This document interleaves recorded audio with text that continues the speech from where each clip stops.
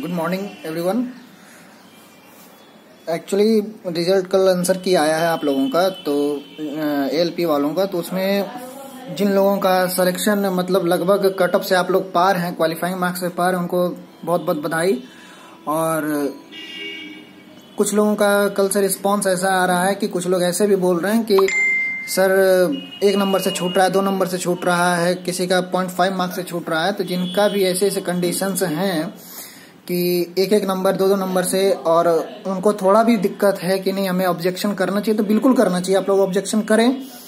और अगर क्वेश्चन में कंफ्यूजन हैं कि हाँ क्वेश्चन ये मेरा सही है या नहीं है, कैसे ऑब्जेक्शन करना है, क्या करना है, नहीं करना है, और जिनको भी किसी भी तरह का क्वेश्चन में डाउट है डीजल मैकेनिक से संबंधित और साथ ही साथ फिटर से संबंधित, जिन भी स्टूडेंट्स का कोई भी दिक्कत है क्वेश्चन में, जिन्हें लग रहा है कि नहीं, मेरा सही है रेलवे बोर्ड ने गलत किया है कन्फर्मेशन के लिए आप हमसे मिल सकते हैं और वो भी आज मिल सकते हैं। आज तीन बजे से आज मैं हम, आज हम आप लोगों के क्वेश्चंस को ही डिस्कस करेंगे, जिन लोगों का दिक्कत हुआ था।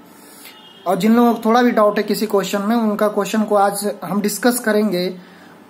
उसके लिए आप लोग तीन बजे हमसे मिलिए और वो मिलने का समय तीन बजे है और जगह आपका द इंस्टीट्यूट होगा, जो जहाँ पे हमने अपना क्लास करवाया था डिस्कशन का। उसी जगह आपका क्वेश्चन का डिस्कशन फिर से चलेगा। जिन भी बंधु का कोई भी दिक्कत है क्वेश्चंस का आप स्क्रीनशॉट लेके आएँगे प्रिंट आउट लेके आएँगे, जैसे सम्मत, जैसे हो, वैसे आप आइए और जितना हो सकता है हम आपकी मदद करेंगे। कैसे आपको ऑब्जेक्शन करना है क्वेश्चन कौन सा सही है, कौन सा गलत है, सारी बातों पे हम लोग गौर करेंगे। इसके लिए आप आज मिलिए तीन बजे द इंस्टीट्यूट में। मिलते हैं वहाँ पर। क्वेश्चन हाँ क्वेश्चन का स्क्रीनशॉट या प्रिंट आउट जो भी हो, आप लोग लेके आएँगे, जिन भाई बंधुओं का हो, सब लेके आएँगे, सबका डिस्कस करेंगे, और कौन सा सही है, कौन सा गलत है, किया आपको वहाँ पे कंफर्म किया जाएगा। टेंशन लेने वाली बात नहीं नॉर्मलाइजेशन सबका होगा। आज भी सुबह सुबह आरआरबी भोपाल का ट्वीट मैंने देखा। उसमें उसने क्लियर कर चुका है कि नॉर्मलाइजेशन होगा, किसी गलत फॉर्मी में न पड़े। तो नॉर्मलाइजेशन बिल्कुल होगा। लेकिन फिर भी अगर आपको लगता है कि नहीं, हमें क्लेम करना चाहिए ऑब्जेक्शन करना चाहिए तो बिल्कुल करें। और कंफर्मेशन के लिए आप हमसे मिल सकते हैं, क्योंकि हम, चाहे तो व्हाट्सअप या फेसबुक पे बहुत लोगों का मैसेज हम इतना ज़्यादा मैसेज है कि रात में हम तीन बजे तक जगे हुए हैं। सारे का रिप्लाई मैंने किया है।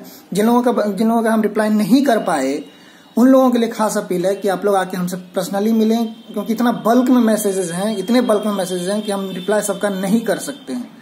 इसलिए आप लोग आए, सामने फेस टू फेस बात होगी, मिले, और जो लोग नहीं आ सकते हैं, जो बिहार से भी पटना से बाहर हैं, वो लोग मैसेज करें, उन लोगों का रिप्लाई जाएगा, थोड़ा समय लगेगा। थोड़ा हड़बड़ाएँगे नहीं पैसेंस रखेंगे, समय लगेगा, क्योंकि अपने पास भी समय की थोड़ी कमी है। जब भी समय मिलता है, हम कोशिश करते हैं आप लोगों को सहयोग करने का, और आपके हर एक समस्या में हम आपके साथ हैं। किसी भी तरह हो एग्ज़ाम के पहले भी साथ थे एग्ज़ाम के बाद भी साथ हैं, और रहेंगे। इसलिए आप लोग हमसे मिल सकते हैं। शाम में तीन बजे द इंस्टीट्यूट में। विशेष जानकारी के लिए जो नंबर अभी हम देंगे, वहाँ आप कॉल कर लेंगे एड्रेस के लिए कहाँ पे आना है। ऐसे जो लोग भाई बंधु बहुत लोग जानते होंगे, द इंस्टीट्यूट कहाँ पे है। बस मुसल्लापुर हाट के पास ही है, आप लोग वहाँ पे आएँगे तो आपको पता चल जाएगा। मिलते हैं तीन बजे। Thank you